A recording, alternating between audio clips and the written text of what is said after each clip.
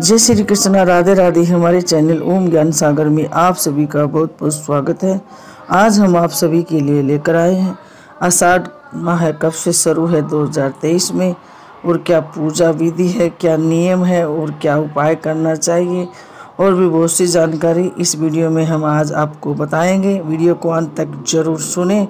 और हाँ हमारे चैनल ओम ज्ञान सागर को सब्सक्राइब ज़रूर करें। वीडियो को लाइक और सभी परिवार दोस्तों के साथ ज़्यादा से ज़्यादा शेयर करें। बेल आइकन को ज़रूर दबाएँ ताकि सबसे पहले वीडियो आप सभी के पास पहुँचे, आप सभी सुन सके, जान सके और सभी परिवार दोस्तों के साथ ज़्यादा से ज़्यादा शेयर कर सके। तो चलिए जानते हैं। मैं हूँ रीना शर्मा, आज आप सभी के लिए लेकर आई हूँ आषाढ़ माह कब से शुरू हो रहा है 2023 में और पूजा विधि क्या नियम है, क्या महत्व है, क्या करे, क्या नहीं। आषाढ़ के महीने की शुरुआत होते ही षष्ठी के पालनहार भगवान विष्णु चार महीने के लिए योग निद्रा में चले जाते हैं। ऐसे में इस महीने में आखिर कौन से काम नहीं करने चाहिए और क्या है पूजा का नियम? कैसे पूजा करें और क्या उपाय करें जिससे घर में सुख समृद्धि बनी रहे? ज्येष्ठ का महीना चार जून को खत्म हो जाएगा और पाँच जून से आषाढ़ का महीना शुरू हो जाएगा। शास्त्रों के मुताबिक इस महीने की शुरुआत होते ही देव निंदा में सो जाते हैं और देव उठने एकादशी पर चार महीने बाद ही उठते हैं। यह महीना भगवान शिव और श्री हरि की पूजा के लिए बहुत ही खास माना जाता है। इस महीने के शुरू होते ही देव सो जाते हैं। ऐसे में शादी ब्याह जैसे शुभ कार्य नहीं करने चाहिए। इन कार्यों के लिए देव के उठने का इंतज़ार करें।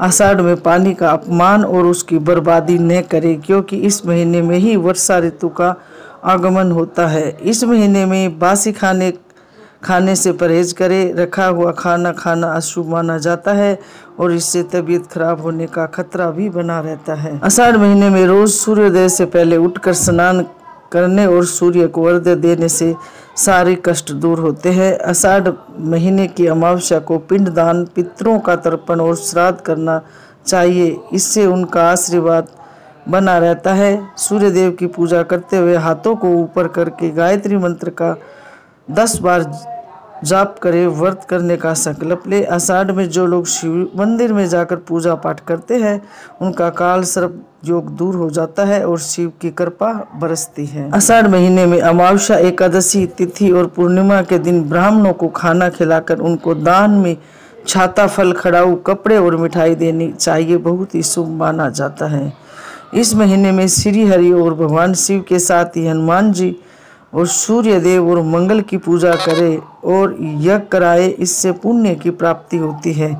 कुंडली में अगर मंगल और सूर्य की स्थिति कमज़ोर है तो आषाढ़ में भगवान शिव और श्री हरि के साथ माँ दुर्गा और हनुमान जी की पूजा ज़रूर करें। आषाढ़ के महीने में रोज सूर्योदय से पहले उठकर स्नान करने और सूर्य को अर्घ्य देने से सारे कष्ट दूर होता है। आषाढ़ के महीने में भोलेनाथ और श्री हरि की पूजा करनी चाहिए। दोनों देवों की पूजा करने से जीवन के कई कष्ट दूर हो जाते हैं। जो मनुष्य आषाढ़ की योगिनी एकादशी का व्रत रखता है, उसको अट्ठासी हज़ार ब्राह्मणों को खाना खिलाने और गायों को खाना खिलाने के बराबर पुण्य मिलता है। इस महीने में गुरु पूर्णिमा और गुरु सेवा का भी खास महत्व है। आइए जानते हैं क्या सावधानियाँ बरते। इस संधि काल के महीने में जल जनित बीमारी अधिक होती है, ऐसे में इस समय स्वस्थ जल का सेवन करना चाहिए। इस समय खान पान में रसीले फलों का अधिक सेवन करना चाहिए। बेल से परहेज करें, पाचन को तंदुरुस्त बनाए रखने के लिए कम तली भुनी चीज़ों का सेवन करें। आषाढ़ माह में सौंफ, हींग और नींबू का सेवन करना लाभकारी माना जाता है। इस समय घर के आसपास पानी को इकट्ठा न होने दें। इस महीने में स्वास्थ्य के नज़रिए से यह माह ठीक नहीं होता है। आषाढ़ माह से वर्षा ऋतु की शुरुआत हो जाती है, इसलिए इस महीने में रोग का संक्रमण सर्वाधिक होता है। वातावरण में भी इस समय नमी होती है। आषाढ़ माह में ही मलेरिया, चिकनगुनिया और डेंगू जैसे रोग होते हैं। इस समय वायरल फीवर के कारण भी लोग बीमार होते हैं, इसलिए महीने में कुछ विशेष बातों का ध्यान देने की ज़्यादा आवश्यकता है। धार्मिक मान्यता के अनुसार इस महीने में आषाढ़ माह में गुरु की उपासना सबसे फलदायी मानी जाती है। इस महीने में श्री हरि विष्णु की उपासना से भी संतान प्राप्ति का वरदान मिलता है। इस महीने में जल देव की उपासना का भी महत्व है। कहा जाता है कि जल देव की उपासना करने से धन की प्राप्ति होती है। ऊर्जा के सत्र को संयमित रखने के लिए आषाढ़ के महीने में सूर्य की उपासना भी की जाती है। आषाढ़ माह की शुरुआत 5 जून 2023 से होगी। ये विष्णु जी और माँ दुर्गा को समर्पित है। इस पूरे महीने में कुछ खास उपाय करने से जीवन में धन, सौभाग्य और सफलता मिलती है। आषाढ़ का महीना कामना पूर्ति का माह कहलाता है। आषाढ़ अमावस्या की शाम घर के ईशान कोण में एक दीपक जलाए। उसमें गाय के घी, केसर और लाल धागे वाली बत्ती का उपयोग करें। इससे माँ लक्ष्मी का आशीर्वाद मिलेगा और धन्य धान्य में वृद्धि होगी। आषाढ़ महीने में योगिनी एकादशी और देवशनी एकादशी पर ब्राह्मणों और गरीबों को भोजन कराए। उन्हें यथा दक्षिण दान दे छाता, आंवला, जूते, चप्पल और नमक आदि का दान करना सबसे उत्तम माना जाता है। कहते हैं, इससे वैवाहिक जीवन में चल रही परेशानियाँ दूर होती है और सौभाग्य बढ़ता है। इसी माह में देवी की साधना से शत्रु पर विजय प्राप्ति का वरदान मिलता है। शत्रु किसी कार्य में बाधा नहीं डाल पाता, साथ ही बिगड़े कार्य भी बनते हैं।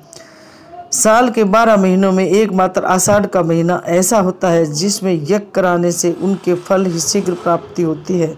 आषाढ़ में यज्ञ और हवन के प्रभाव से गंभीर रोग से छुटकारा मिलता है। और में कलेश खत्म होता है और एकता बढ़ती है।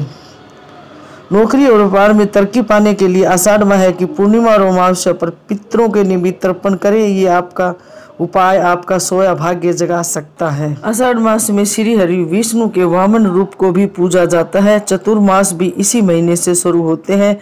वे चार माह तक चलते हैं। आषाढ़ में की गई पाठ पूजा का विशेष फल मिलता है। इस महीने में विष्णु जी की पूजा करने से हर मनोकामना पूर्ण होती है। आइए अब जानते हैं आषाढ़ मास में सुनने वाली कथा। इस कथा को सुनने से सभी प्रकार के कष्ट, दुख दूर होते हैं और अंत में मोक्ष की प्राप्ति होती है। बहुत पुण्य मिलता है। बहुत समय पहले की बात है कि महिष्मती नाम की सुंदर नगरी थी। वहाँ एक धार्मिक पर्वती का राजा राज्य करता था। राजा का नाम था महाजीत। महाजीत का घर धन धान्य से सपूर्ण था, पर उनके कोई पुत्र नहीं था। वह उदास सा ही रहते थे। पुत्र प्राप्ति के लिए उनने अनेक धार्मिक उपाय कार्य किए, इतने कार्य धार्मिक किए कि करते करते उनकी उम्र निकल गई, वृद्धा अवस्था हो गई, तब भी उनके यहाँ कोई पुत्र नहीं हुआ। एक दिन अपनी व्याथा कथा उन्होंने लोशन ऋषि को सुनाई। उनको दुखी देखकर ऋषि ने उसे कहा, राजन, यदि तुम अपनी पत्नी के साथ गणेश चौथ का व्रत करो तो निश्चय ही रूप से तुम्हारी इच्छा पूरी होगी और तुम्हारे पुत्र उत्पन्न होगा। राजा ने पत्नी के साथ गणेश चौथ का व्रत किया। गणेश जी कृपा से उनकी पत्नी गर्भवती हो गई। दसवें महीने में उनके गर्भ से एक सुंदर पुत्र का जन्म हुआ। गणेश जी ने उनकी मनोविलासा, आशा पूरी कर दी और सभी प्रकार के सुख भोगकर अंत को मोक्ष की प्राप्ति हुई। इस कथा को सुनने से बहुत ही पुण्य की प्राप्ति होती है। आषाढ़ माह में ये कथा ज़रूर सुननी चाहिए। आषाढ़ महीने की संकटी चतुर्थी पर भगवान गणेश की पूजा करने से दूर होती है सभी परेशानियाँ। तो ये थी जानकारी आषाढ़ का महीना, कब से शुरू हो रहा है और क्या करे, क्या नहीं, क्या नियम है, क्या दान करे कौन कौन से व्रत करे, किसकी पूजा करे, बहुत सी ऐसी जानकारियाँ हैं, उपाय है, बताए हैं जिनसे करने घर में सुख समृद्धि आती है।